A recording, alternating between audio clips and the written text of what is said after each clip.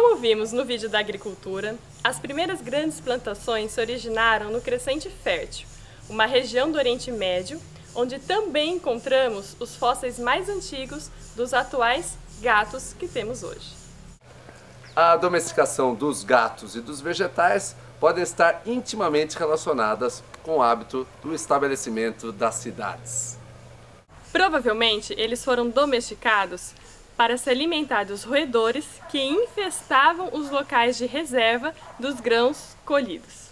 É sobre gatos, seus sentidos e algumas curiosidades que nós falaremos no vídeo de hoje.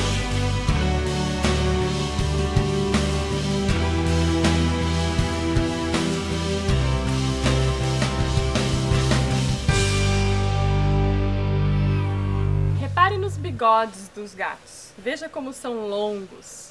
Acredite se quiser, mas esses bigodes estão diretamente relacionados à sua visão.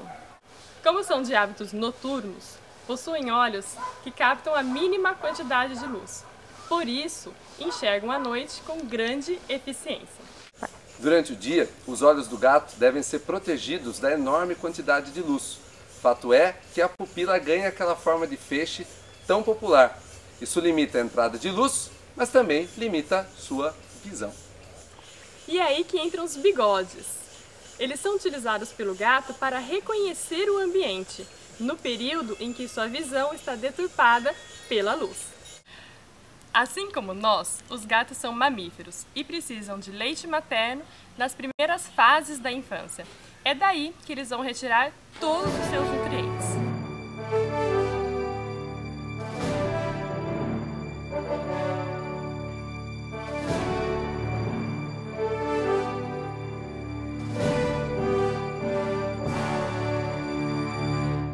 O órgão vômero-nasal se localiza no céu da boca dos gatos. Esse órgão é responsável pela detecção de odores, assim como as suas narinas.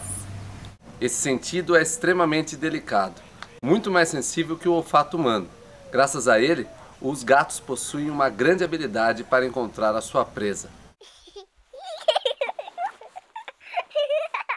Ah, olha só que coisa mais bonitinha. Eles estão brigando, um quer comer a orelhinha do outro. Ah, meu Deus, olha só, ele vai matar o outro, que belezinha.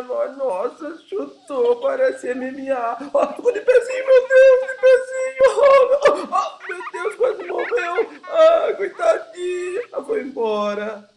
Gatos não podem tomar aspirina, o ácido acetil salicílico. Diferentemente de nós, gatos são hipercarnívoros. Seus fígados não são capazes de produzir as enzimas necessárias para que a molécula seja quebrada e eliminada do corpo.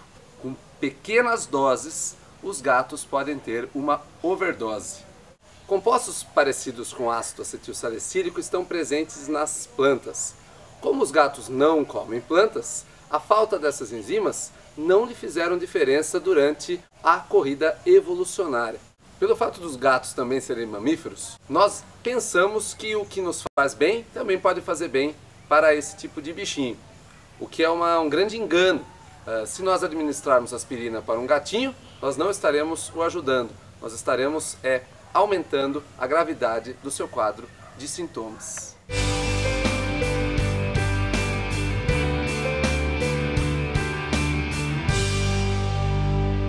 Veja só como a interferência humana é marcante na evolução.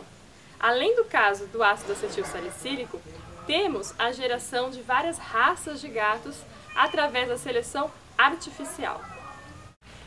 Durante os anos de convivência, fomos preferindo aqueles gatos que apresentavam as características mais convenientes, fazendo com que eles tivessem mais vantagens sobre os outros, pois tinham mais alimento e menos doenças.